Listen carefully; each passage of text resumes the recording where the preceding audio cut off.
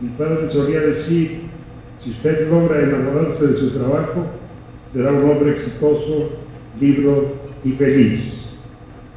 Los galardonados de esta noche son el ejemplo perfecto de este ideal, ya que han dedicado su vida a una pasión que ha dado triunfos, tanto a nivel personal como para su comunidad. De esta manera, hoy destacamos el trabajo de investigadores ocupados en la memoria de la salud de la población, de las empresas y de los hombres de negocios, cuyo éxito y ejemplo de constancia, innovación y responsabilidad social. De los artistas, quienes a través de la música y la actuación nos transmiten la belleza y la complejidad de la naturaleza humana y en las artes, los escritores cuya carrera literaria y periodística vivifica nuestra cultura denuncia las injusticias y señala nuestros errores, porque donde habita el amor y la cultura están rotas para siempre las cadenas de la ignorancia, de la oscuridad y del miedo. Muchas gracias.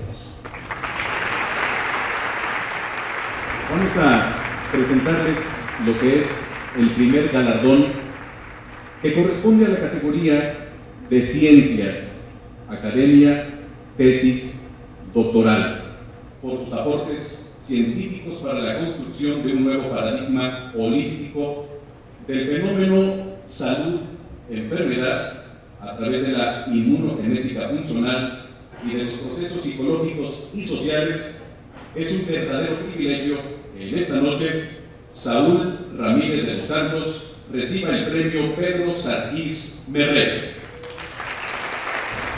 El siguiente premio es para el área de ciencias con el trabajo, inflamación, autoinmunidad.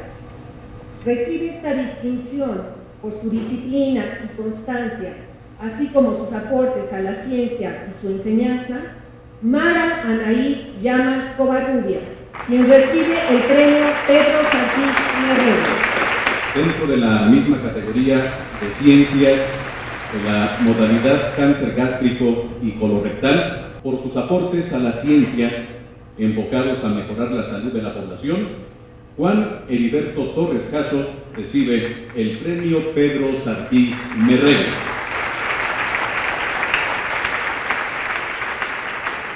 Continuamos con el siguiente premio en la categoría Ciencias en su modalidad Síndrome Metabólico y Diabetes mellitus.